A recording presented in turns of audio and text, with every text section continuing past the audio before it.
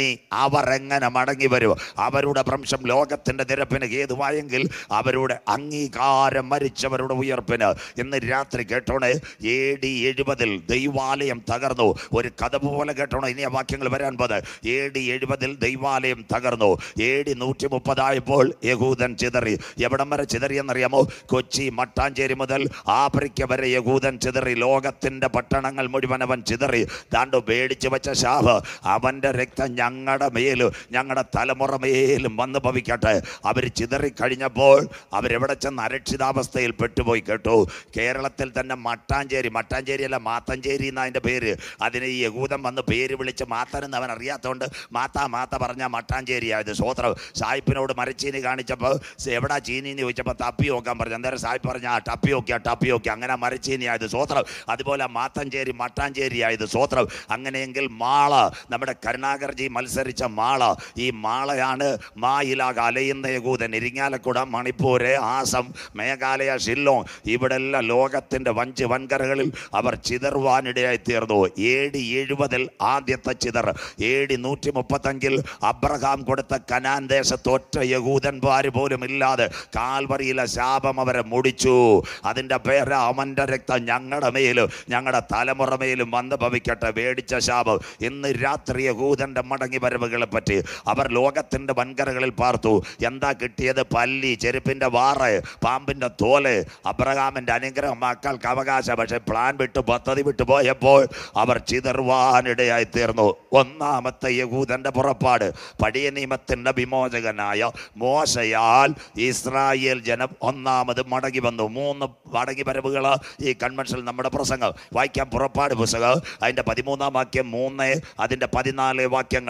ശ്രദ്ധയോടെ ഇരിക്കണം. വളരെ ക്ലിയർ ആ വചനം. പുറപ്പാട് പുസ്തകം പതിമൂന്നാം അധ്യായം മൂന്ന് പതിനാല്. ഒന്നാമത്തെ യഹൂദന്റെ മടങ്ങി വരവ് അടി ആ വായിച്ചാട്ടെ. അപ്പോൾ മോശ ജനത്തോട് പറഞ്ഞത് മോശ ജനത്തോട് പറഞ്ഞത്. നിങ്ങൾ അടിമ വീടായ മിസ്രൈമിൽ നിന്ന് പുറപ്പെട്ടു പോന്ന. അടിമ വീടായ മിശ്രൈമിൽ നിന്ന് പുറപ്പെട്ടു പോന്ന. ഈ ദിവസത്തെ ഓർത്തുകൊള്ളുവീൻ അവരുടെ കഷ്ടത ഞാൻ കണ്ടു നിലവിളി ഞാൻ കേട്ടു. പഴയ നിയമത്തിന്റെ വിമോചകനായ മോശയിൽ കൂടി ഇസ്രായേൽ ജനം ചെങ്കടൽ കടന്നു. തീർന്നില്ല.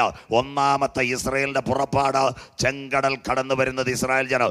പതിനാലാമത്തെ വാക്യം കൂടെ ഹൂതന് വേണ്ടി. വായിച്ചാട്ടെ പതിനാലാമത്തെ വാക്യം. വായിക്കാം കുഞ്ഞേ. എന്നാൽ ഇത് എന്ത് എന്ന് ഇന്ന് എന്ന് നാളെ നിന്റെ മകൻ നിന്നോട് ചോദിക്കുമ്പോൾ നാളെ നിങ്ങളുടെ മക്കളോട് പറയേണ്ട ഒരു കാര്യമുണ്ട്. സ്വർഗത്തിലെ ദൈവമാ നമ്മളെ മടക്കി കൊണ്ടുവന്ന അടുത്ത വാക്യം വായിച്ചാട്ടെ. ബലമുള്ള കൈകൊണ്ട് യഹോവ ബലമുള്ള കൈകൊണ്ട് അടിമ വീടായ മിശ്രീമിൽ നിന്ന് ഞങ്ങളെ പുറപ്പെടുവിച്ചു. അടിമ വീടായ മിശ്രീമിൽ നിന്ന് ഞങ്ങളെ പുറപ്പെടുവിച്ചു. ഇതാ ഇസ്രയേലിന്റെ ഒന്നാമത്തെ മടങ്ങി വരവ് ഇനിയെങ്കിൽ രണ്ടാമത്തെ മടങ്ങി വരവ് മൂന്നാമത്തെ മടങ്ങി വരവ് ലോകം അവസാനിക്കും. ആ ബേസ ഈ കൺവെൻഷൻ നമ്പർ വൺ അടിമ വീട്ടിൽ കട്ടക്കളത്തിൽ ഊഴിയ വിചാരകന്മാരുടെ ചാട്ടവാറേറ്റു. അവരുടെ നിലവിളി ഞാൻ കണ്ടു. അങ്ങനെ ആയിരക്കണക്കിന് ആടുകളെ പെസകായിൽ അറത്തു. കുഞ്ഞാടിന്റെ വിലയേറിയ രക്തം കട്ടളക്കാൽമേൽ കുറുമ്പടി മേൽ തേച്ചു. പഴയ നിയമത്തിന്റെ വിമോചകനായ മോശ ചുള്ളിവടി. ഓ ഹല്ലേലൂയ ചെങ്കടലിൽ നീട്ടിയപ്പോൾ അന്ന് രാത്രി മുഴുവനും കിഴക്കൻ കാറ്റടിപ്പിച്ചു.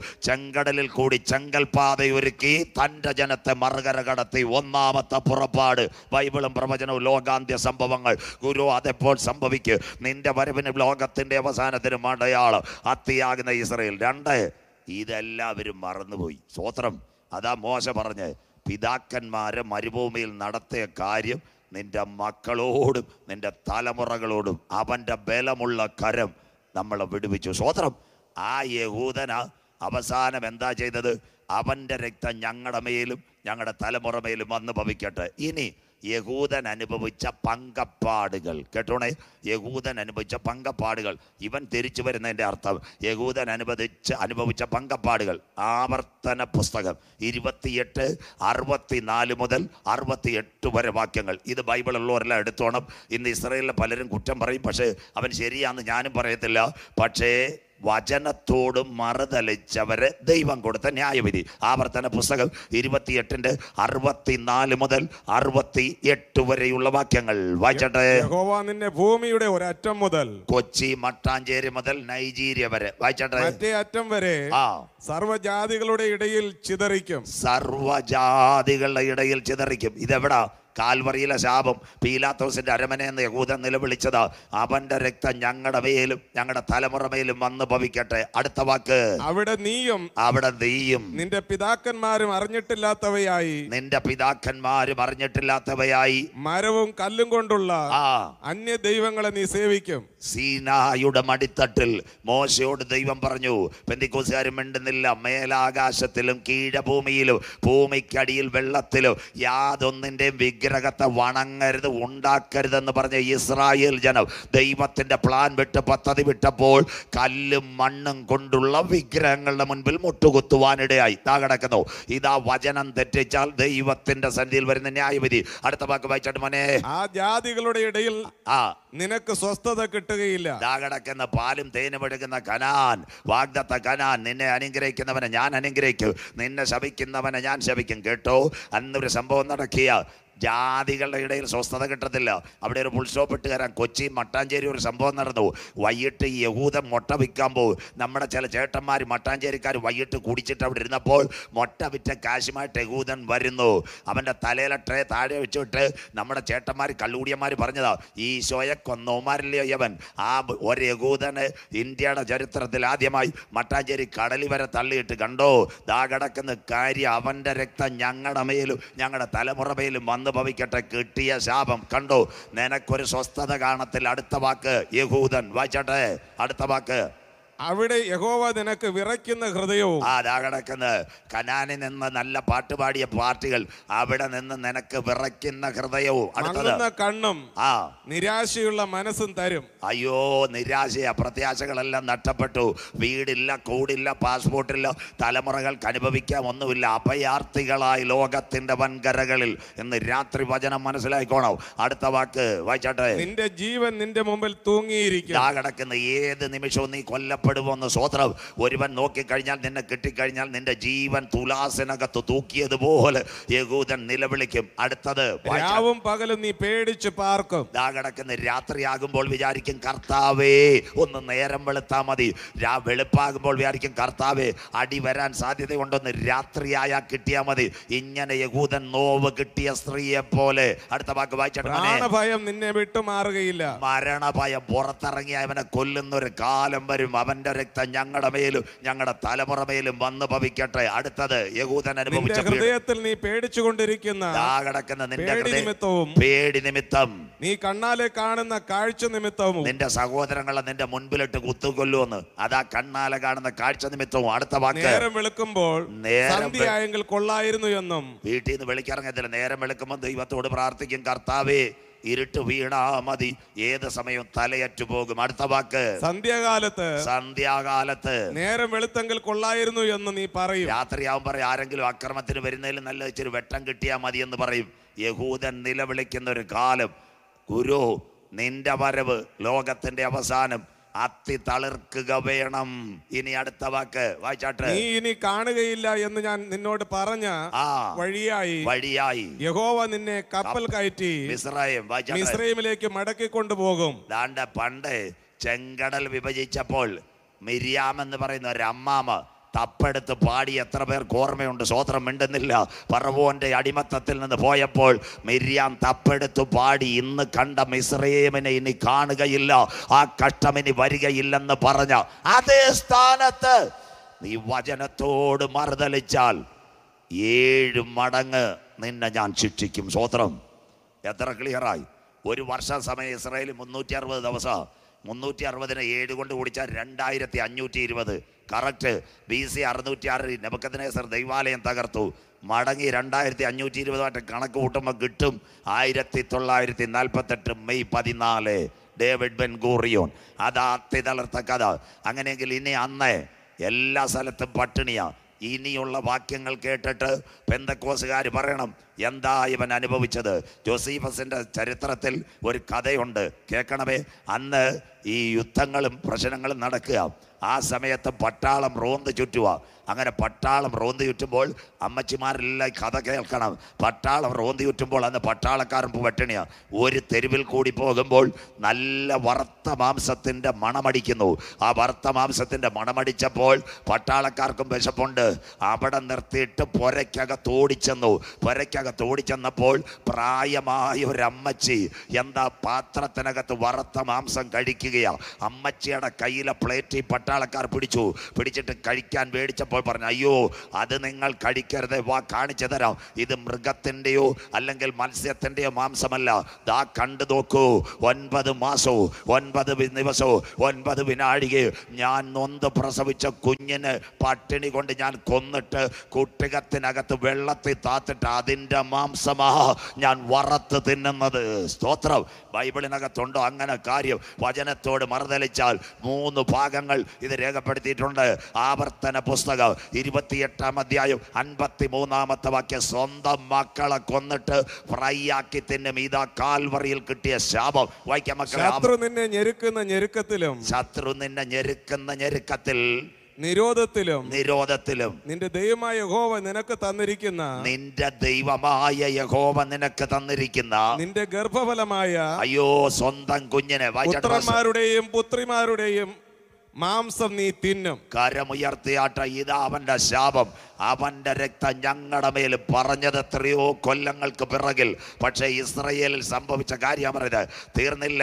ഇത് തന്നെ ഇരമ്യാവും പറഞ്ഞിട്ടുണ്ട്. ബൈബിൾ എടുത്താട്ട് ഇന്ന് പലരും ഈ ജാതിയെ പറ്റി പലരും കുറ്റം പറയുമ്പോൾ ഇവരനുഭവിച്ച കാര്യം ഇരമ്യ പ്രവചന. പത്തൊമ്പതാം അധ്യായം ഒൻപതാമത്തെ വാക്യം കർത്തദാസൻ വാർച്ച് സഹായിച്ചാട്ട് ഇരമ്യാവിനോട് സ്വർഗം അവരുടെ ശത്രുക്കളും അവരുടെ ശത്രുക്കളും അവർക്ക് പ്രാണഹാനി വരുത്തുവാൻ നോക്കുന്നവരും എവിടെ ചെന്നാലും അവൻ അടിയും കല്ലേറും ആ സ്വോത്രം അവരെ ഞെരുക്കുന്ന ഞെരുക്കത്തിലും അവർ ഞെരുക്കുന്ന ഞെരുക്കത്തിലും നിരോധത്തിലും നിരോധത്തിലും ഞാൻ അവരെ സ്വന്തം പുത്രന്മാരുടെ മാംസവും ആ. പുത്രിമാരുടെ മാംസവും തിന്നുമാറാക്കും. ദാ കിടക്കുന്ന നൊന്ത് പ്രസവിച്ച കുഞ്ഞിനെ കഴുത്ത് ഞെരിച്ച് കൊന്നിട്ട് ഫ്രിഡ്ജില്ലാഞ്ഞ് കുട്ടുകത്തിനകത്ത് വെച്ചിട്ട് ആ മാംസം തണുപ്പിച്ചെടുത്തിട്ട് എണ്ണ ഒഴിച്ച് തൂട്ട് തിന്നുന്ന ഒരു കാലം യഹൂദന്റെ ഇടയിൽ ഇത്രയും അവന്റെ രക്തം ഞങ്ങളുടെ മേലും ഞങ്ങളുടെ തലമുറ മേലും വന്ന് ഭവിക്കട്ടെ. അടുത്തത് അവനേറ്റ ശാപം. ലേബിയ പുസ്തകം ഇരുപത്തിയാറാം അധ്യായം ഇരുപത്തേഴ് ഇരുപത്തി ഒൻപത് ആ വാക്യങ്ങൾ. അല്ല അതിന്റെ മുപ്പത്തിരണ്ട് വരെ. ഇരുപത്തി ആറിന്റെ ഇരുപത്തേഴ് ഇരുപത്തൊമ്പത് ബൈബിൾ ഒന്ന് പഠിച്ചാട്ടെ ദൈവമക്കൾ. ലേബിയ പുസ്തകം ഇരുപത്തി ആറ് ഇരുപത്തേഴ് ഇരുപത്തെട്ട് ഇരുപത്തൊൻപത് വാക്യങ്ങൾ. Bible clear. യഹൂദൻ ചിതറും കാൽവറിയിലെ ശാപം. വായിക്കാം. ഞാൻ നിങ്ങളുടെ അപ്പം എന്ന കോൽ ഒഴിച്ചിരിക്കുമ്പോൾ ആ അടുത്തത്. പത്ത് സ്ത്രീകൾ ഒരടുപ്പിൽ നിങ്ങളുടെ അപ്പം ചുട്ട് ആ. നിങ്ങൾക്ക് തിരികെ തൂക്കി തരും. ആ അടുത്തത്. നിങ്ങൾ ഭക്ഷിച്ചിട്ട് തൃപ്തരാകയില്ല. ലേബിയ പുസ്തകം ഇരുപത്തിയാറ് ഇരുപത്തിയേഴ് ഇരുപത്തിയൊമ്പത്. ഏതായ വാക്യം? ഒന്നെടുത്താട്ടെ ഇതെല്ലാമായിട്ടും ഇതെല്ലാമായിട്ടും വായിച്ചോ. ഇതാണ് ഇസ്രായേൽ പഠിക്കാത്തവൻ അനുസരണ ഇല്ലാത്തവ ഇതെല്ലാമായിട്ടും നിങ്ങൾ എന്റെ വാക്ക് കേൾക്കാതെ പണ്ടേ നിന്റെ ശീലം ഇതാ നീ വാക്ക് കേൾക്കത്തില്ല. കേട്ടോ? എനിക്ക് വിരോധമായി നടന്നാൽ എനിക്ക് വിരോധമായി നടന്നാൽ ഞാനും ക്രോധത്തോടെ നിങ്ങൾക്ക് വിരോധമായി നടക്കും. സ്വർഗത്തിന്റെ ശിക്ഷാവിധി ഒഴിച്ചു മാറ്റാൻ പറ്റത്തില്ല. അടുത്ത വാക്ക്. നിങ്ങളുടെ പാപങ്ങൾ നിമിത്തം നിങ്ങളുടെ പാപങ്ങൾ നിമിത്തം നിങ്ങളെ ഏഴ് മടങ്ങ് ശിക്ഷിക്കും. ഇതാ രണ്ടായിരത്തി അഞ്ഞൂറ്റി ഇരുപത് വർഷം യഹൂദൻ കഷ്ടത അനുഭവിക്കും. യഹൂദന്റെ കലണ്ടർ ദൈവദാസന്മാർ കേട്ടോണെ? നാളെ ഇത് പറയത്തില്ല. ഒരു ഒരു വർഷം യഹൂദന് മുന്നൂറ്റി അറുപതാ മുന്നൂറ്റി അറുപത് ഗുണം ഏഴ് സമം. രണ്ടായിരത്തി അഞ്ഞൂറ്റി ഇരുപത് കൊല്ലം അടിമ വീട്ടായി ഇസ്രായേലും ഇസ്രായേലിൽ നിന്ന് പുറപ്പെടുവിച്ച ദൈവം നിന്നെ ജാതികളുടെ ഇടയിൽ ചിതറിച്ച് കളയും. രണ്ടായിരത്തി അഞ്ഞൂറ്റി ഇരുപത് കൊല്ലം. കറക്റ്റ് അടുത്ത വാക്ക് വായിച്ചാട്ടെ. നിങ്ങളുടെ പുത്രന്മാരുടെ മാംസം നിങ്ങൾ തിന്നും. നിങ്ങളുടെ പുത്രന്മാരുടെ മാംസം തിന്നും ഇസ്രായേലിൽ അടുത്തത്. നിങ്ങളുടെ പുത്രിമാരുടെ മാംസം തിന്നും. നിങ്ങളുടെ പുത്രിമാരുടെ പെങ്കൊച്ചുങ്ങളുടെയും മക്കളുടെയും മാംസം പട്ടിണി കൊണ്ട് അപ്പനും അമ്മയും കൊന്നിട്ട് തിന്നുവെന്ന് ഇങ്ങനൊരു ജനത. അടുത്ത വാക്ക്. ഞാൻ നിങ്ങളുടെ പൂജാഗിരികളെ നശിപ്പിച്ച് ആ നിങ്ങളുടെ പൂജാഗിരികളെ നശിപ്പിച്ച് നിങ്ങളുടെ സൂര്യ വിഗ്രഹങ്ങളെ വെട്ടിക്കളയും. വെട്ടിക്കളയും. കണ്ടോ നിങ്ങളെ മടക്കി വരുത്ത്. മുപ്പത്തിരണ്ടാമത്തെ വാക്യം കൂടെ വായിച്ചിട്ട് പാസ്റ്ററേ അടുത്ത ഞാൻ ദേശത്തെ ശൂന്യമാക്കും. ദാ കിടക്കുന്ന. പാലും തേനും ഒഴുകുമെന്ന് അപ്പച്ചന് കൊടുത്ത ദേശം ദൈവത്തിന്റെ വചനത്തോട് മറുതലിച്ചാൽ ദൈവം ശൂന്യമാക്കും പെന്തിക്കോസാർക്ക് സന്തോഷമില്ല. കർത്താവിന്റെ രണ്ട് വടിയുണ്ട് മക്കളെ. ഇന്ന് നമുക്ക് ആശീർവാദത്തിൻ വടി മാത്രമേ ഉള്ളൂ. സ്വോത്രം എന്നാൽ ന്യായവിധിയുടെ ഒരു വടിയും കൂടെ ഉണ്ട് സ്വോത്രം അത് മനസ്സിലാക്കിയാൽ നല്ലത്. സ്വന്തം ജനമായിട്ട് അവൻ ന്യായം വിധിച്ചു. അടുത്ത വാക്ക് വായിച്ചാട്ട് പാസ്റ്ററേ. അടുത്ത വാക്കൂടെ മുപ്പത്തിരണ്ട്. അതിൽ വസിക്കുന്ന നിങ്ങളുടെ ശത്രുക്കൾ ആ. അതിങ്കൽ ആശ്ചര്യപ്പെടും ദാ കിടക്കുന്ന നിങ്ങളുടെ ശത്രുക്കളുടെ കയ്യിൽ പിതാക്കന്മാർ കാൽ ചവിട്ടിയ ദേശം ഞാൻ കൊടുക്കും. എങ്കിൽ ഇസ്രയേൽ മടങ്ങി വരണം. അന്നത്തെ കാര്യം കേൾക്കണോ? വീട്ടിനകത്തെ ശിക്ഷാവിധി. ഒരു കുഷ്ഠം വന്നാൽ യഹൂദനെ അടിച്ചു കൊല്ലും. ടൈഫോയിഡ് വന്നാൽ യഹൂദനെ അടിച്ചു കൊല്ലും. അഭിഹിത ഗർഭം സംഭവിച്ചാൽ വഴിയെ പോകുന്ന യഹൂദനെ അടിച്ചു വന്നാൽ അന്നത്തെ നാട്ടുകാർ പറയും മോക്ഷം കിട്ടും മോക്ഷം കിട്ടും. ഈ ഒരു വാക്ക് വചനത്തോട് മറുതലിച്ചാൽ പ്രസംഗത്തിന്റെ ഒന്നാം ഭാഗം വായിക്കാം സങ്കീർത്തനം അൻപത് ഇരുപത്തിരണ്ടാമത്തെ വാക്യം. ദൈവത്തെ മറക്കുന്നവരെ. ദൈവത്തെ മറക്കുന്നവരെ. ഓർത്തുകൊള്ളുവീൻ. ആ കരമൊന്ന് ഉയർത്തിയാട്ടെ ഇത് ഓർത്തുകൊള്ളുവീൻ. അല്ലെങ്കിൽ ഞാൻ നിങ്ങളെ കീറിക്കളയും. കരം ഉയർത്തുന്നവർക്കായി ഞാൻ ദൈവത്തെ വാഴ്ത്തുന്നു. സ്വന്ത ജനം ഞാൻ പിതാവിന്റെ നാമത്തിൽ വന്നിട്ട് നിങ്ങൾ എന്നെ കൈക്കൊള്ളാതെ അവന്റെ രക്തം ഞങ്ങളുടെ മേലും ഞങ്ങളുടെ തലമുറ മേലും വന്ന് ഭവിക്കട്ടെ എന്ന വചനത്തിന്റെ നിവർത്തി സങ്കീർത്തനക്കാരനോട് ചേർന്ന് യഹൂദനോടുള്ള ബന്ധത്തിൽ വചനത്തെ മറക്കുന്നവരെ. നിങ്ങൾ ഇത് ഓർത്തുകൊള്ളുവീൻ രാത്രി അങ്ങനെയെങ്കിൽ ഈ ജനം മടങ്ങി വരണം. ഇനി ആ കഥ രണ്ട് ഭാഗം പറയുമ്പോൾ ഈ രാത്രി അവസാനിക്കും. ബാക്കി നാളെ ലോകത്തിന്റെ അഞ്ചു വൻകരകളിൽ ആ കാലഘട്ടത്തിൽ ഇവൻ ചിതറി. ഇനി അടുത്ത വാക്യം കേട്ടോണം. ആയിരത്തി എണ്ണൂറ്റി അറുപത്തേഴ് ഇസ്രയേലിന്റെ മടങ്ങി വരവ്. അത്തി തളർത്ത കഥ. ആയിരത്തി എണ്ണൂറ്റി അറുപത്തി ഏഴിൽ ഈ ഫ്രാൻസിൽ ഒരു മിലിറ്ററി കോൺഫറൻസ്.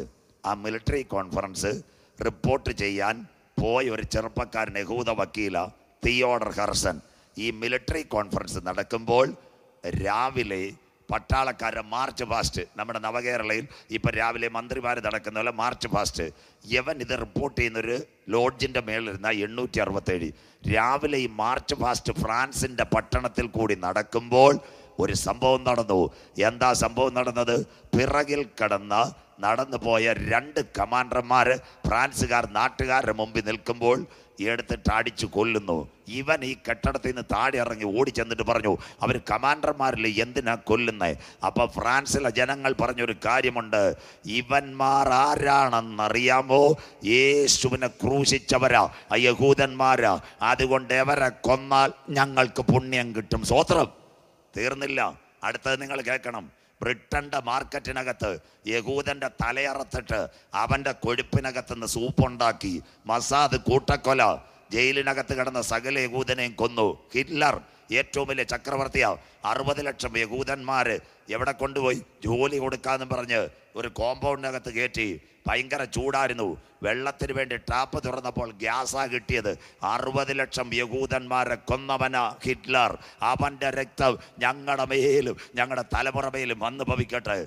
അന്ന് അവൻ ഈ ജേർണലിസ്റ്റ് തിയോഡർ ഹെർസൺ ഇസ്രയേലിന്റെ സ്വാതന്ത്ര്യം നേടിത്ത് കൊടുത്ത ചെറുപ്പക്കാരൻ അവൻ റൂമിലോട്ട് വന്നിട്ട് പേപ്പറെല്ലാം വലിച്ചു കയറി ദൂരെ കളഞ്ഞു. ദൂരെ കളഞ്ഞിട്ട് അവൻ ദൈവത്തോട് നിലവിളിച്ച് കർത്താവേ ഞങ്ങളുടെ പിതാക്കന്മാർ തന്ന മാർഗം ഞങ്ങൾ തെറ്റിച്ചിട്ട് പീലാത്തോസിന്റെ അരമനയിൽ നിന്ന് വേടിച്ച ശാപത്തിൽ ലോകത്തിലെ അഞ്ചു വൻകരകളിൽ ഞങ്ങൾ ചിതറി അടിമേടിക്കുന്നു. കർത്താവേ ഞങ്ങൾക്കൊരു മടങ്ങി വരവ് നീ തരണമേ. കരമുയർത്തുന്നവർക്കായി ഹൃദയം നുറുങ്ങിയവർക്ക് യഹോവ സമീപസ്ഥൻ. മനം തകർന്നവരെ അവൻ രക്ഷിക്കുന്നു. ദൈവത്തിന്റെ പരിശുദ്ധാത്മാവിന്റെ ശക്തി എവിടെ ഇറങ്ങിയെന്നറിയാമോ? ആ റൂമിനകത്തിറങ്ങി. അന്ന് അവനൊരു ബുക്ക് എഴുതി. കേട്ടോ? ആ ബുക്ക് യഹൂദ സംസ്ഥാനം ജൂയ സ്റ്റേറ്റ് സിയോൺ സംഘം എന്ന് പേരിട്ടു. ആയിരത്തി എണ്ണൂറ്റി അറുപത്തേഴിൽ ഈ ബുക്ക് കേട്ടോ മക്കളെ?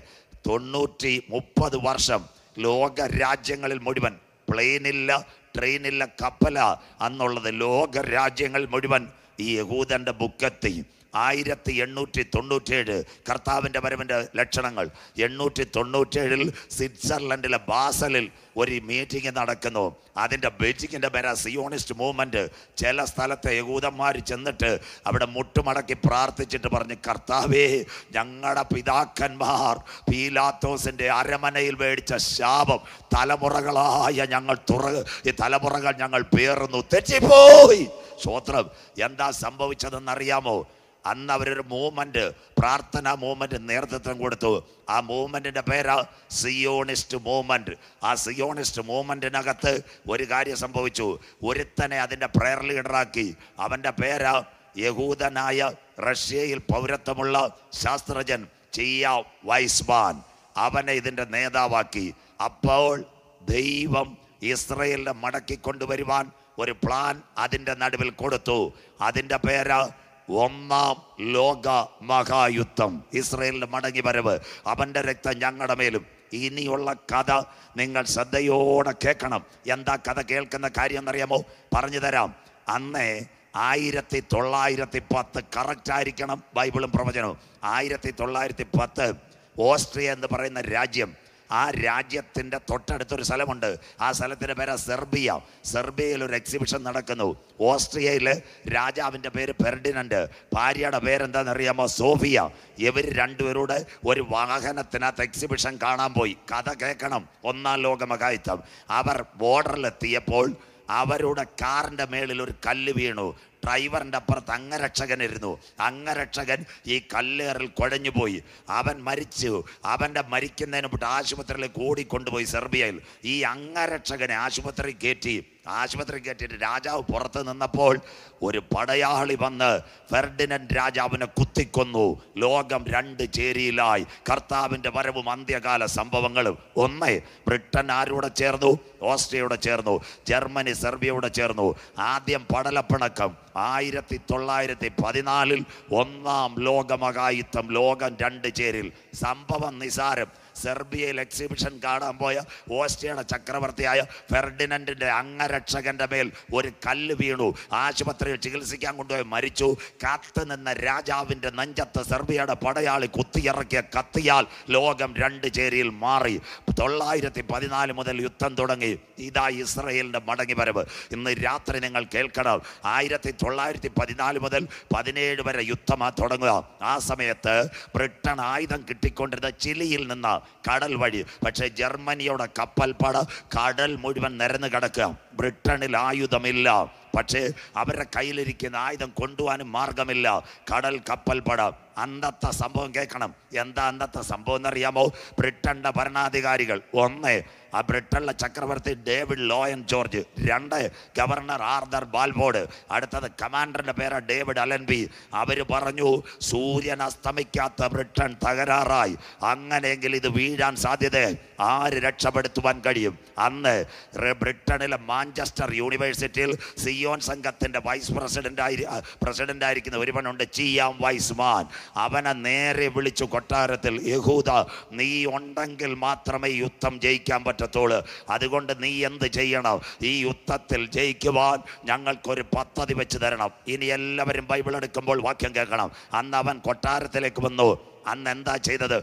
കടലിൽ കൂടെ ആയുധം കൊണ്ടുവരാൻ ജർമ്മനി സംഭവിക്കത്തില്ല. അവിടെ കപ്പൽ പട കിടക്കുക നാൽപ്പത്തെട്ട് മണിക്കൂർ കഴിഞ്ഞാൽ ബ്രിട്ടൻ എന്ന് പറയുന്ന സൂര്യൻ അസ്തമിക്കാത്ത രാഷ്ട്രത്തെ ഇല്ലാതാക്കും.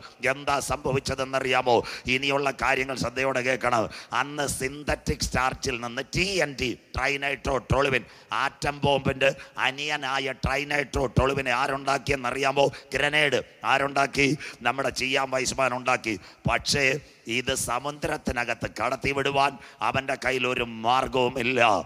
എല്ലാ വഴികളും അടയും എല്ലാ വാതിലുകളും അടയും. എന്നാൽ അന്ന് അവന്റെ പരീക്ഷണശാലയിൽ ദൈവത്തിന്റെ വചനമുണ്ടായിരുന്നു. വചനം ഏറ്റെടുക്കുന്ന ദൈവമക്കൾക്കായി ഞാൻ എന്റെ ദൈവത്തെ വാഴ്ത്തുന്നു. കൺവെൻഷൻ കൂട്ടങ്ങളുടെ പ്രഥമ രാത്രി പ്രതിസന്ധികൾ നിനക്ക് നേരെ ആഞ്ഞടിക്കു. പ്രതികൂലം നിനക്ക് നേരെ ആഞ്ഞടിക്കു. രാജ്യം പറയും നീ തകരുമെന്ന് പട്ടണം പറയും നീ തകരുമെന്ന്. എന്നാൽ ഇന്ന് രാത്രി പറയണം യഹോവയുടെ പുസ്തകത്തിൽ കരമുയർത്തുന്നവർക്കായി യഹോവയുടെ പുസ്തകത്തിൽ തിരഞ്ഞാൽ കിട്ടാത്ത വല്ല കാര്യവുമുണ്ടോ?